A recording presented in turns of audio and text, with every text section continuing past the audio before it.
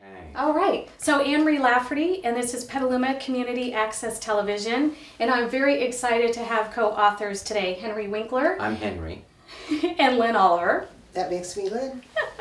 and we are here to celebrate the recent release of Alien Superstar. It was born October 1st. It came out. It is our newest, um, it is our newest book, our 35th novel. And your first project together was 2003. Yes. Okay, and how did that come about?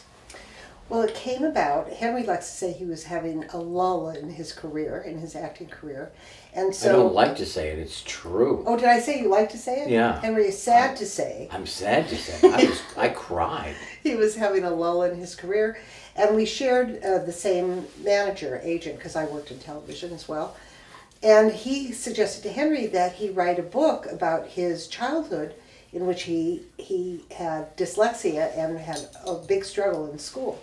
Hmm. So he fixed up a lunch. We had lunch. How was the lunch? Horrible. The lunch was horrible. We had bad fish. but true. great conversation. So the formula for writing 35 books together with someone is bad fish, good, Good conversation. Absolutely. Right. Now, how does a book come to life? Is it something that you're both guided and sensing, or does one have an idea and then you're brainstorming and collaborating? We wrote uh, 28 novels about Hank Zipzer, who was a little boy who was very resourceful, glass half full. He just spills it everywhere because he's dyslexic. That was over. And when that was over, we had talked about an alien before. We wrote a series of four books uh, called Ghost Buddy. Okay. Uh, so we were in that realm, and then yeah, the We were, in the, we were in the paranormal. Yeah, and then uh, uh, Lin and I have worked in television most of our careers. Uh, Lin uh, producing, executive producing, writing, uh, creating, and I, uh, you know, executive produced and um, acted. And we, we thought, oh, children are, they love the idea of stardom, of the red carpet, of, um, you know, being in a glossy magazine. and we thought we would put the two together, um, and out popped uh, Alien Superstar. Well, it took a year and a half, so pop might not be out. What what would be a better word than pot? Well, we worked on it. We massaged it. Yeah. We A wrote massage. it because you know it, it, when you're writing the beginning uh, of a uh, this will be a series of three at the moment. Okay. We have to you have to think of the rules. What is the alien's rule on Earth? What is the alien's life up on his planet? What does um, what does the, the, the Earthlings who do what do they know? What can they know? So you have to work out all these details. Yeah. And I was going to say, is writing a book similar to writing for film? Is there a different development of characters? Well, I think one reason we're able to do this because it's an un- unusual collaboration. Most novelists work singly in a room by themselves. But I came from television writing, where comedy writing, where you write in a room, and you beat out the story together with other writers. You try out lines, you see if anyone laughs. So that process of collaboration came very naturally to me and to Henry as well. when you do a, uh, a comedy, uh, like a situational comedy, uh, you you start Monday morning at ten o'clock, read the script, rehearse, all the way to Friday afternoon uh, at four. Uh, but on Wednesdays is tape is the is the room where all of the writers and friends of writers come, and you rewrite over bad Chinese food. I get, you know what? Until Writing for morning. television is all bad. I mean, bad food. Bad food, yeah. Bad food. well, good things come from bad food. It does. But anyway, uh, we have a, a wonderful, um, uh, a, a wonderful collaboration. Uh, I talk and Lin uh, types. okay. Then uh, Lin has a thought and she types and I wait. And then she reads it back to me and then we argue over every word. Well, it sounds like a, a, a- a great partnership. It is. It is. And- I could never write these books. I mean, I could never be part of writing a book if it was not for. And how does Right. a book start?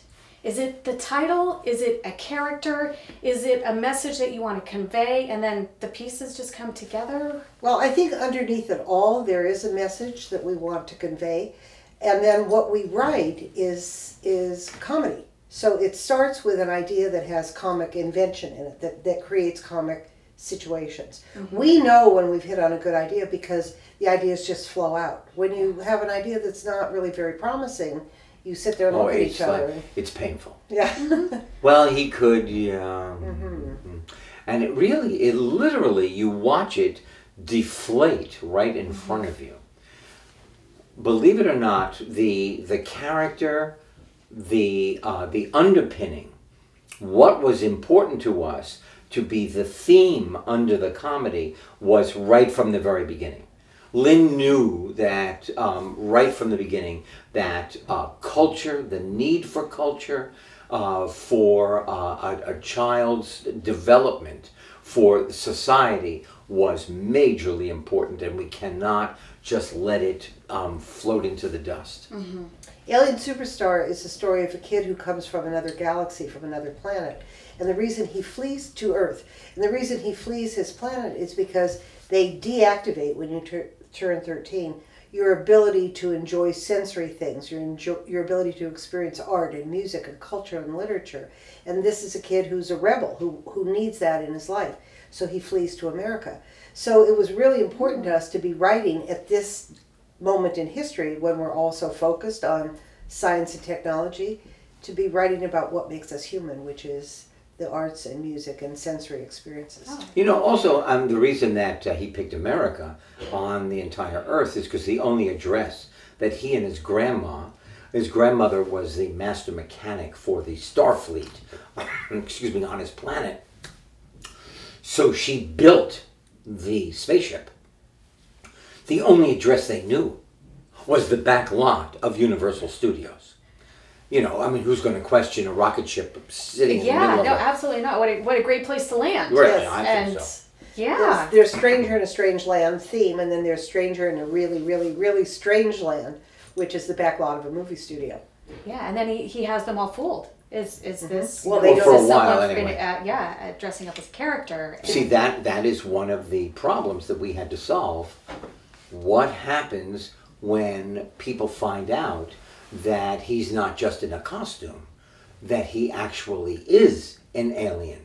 Will they still accept him? Who does he let in on that truth? And I think that is true to uh, kids today and teens is um, their identity and, and who, who do I let in and, and who is safe and who am I and you know figuring out their Right. role you know within society and family and it's, it's a tough um, place to navigate. And does the interior match the exterior, which is a real issue for kids? You know, everyone feels like they have a secret challenge.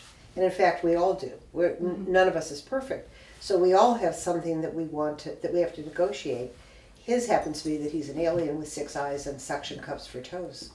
But you need suction cups on his planet because there's no gravity, so they hold him down. On on Earth, however, he can't take a step because he is stuck to wherever he is. Okay.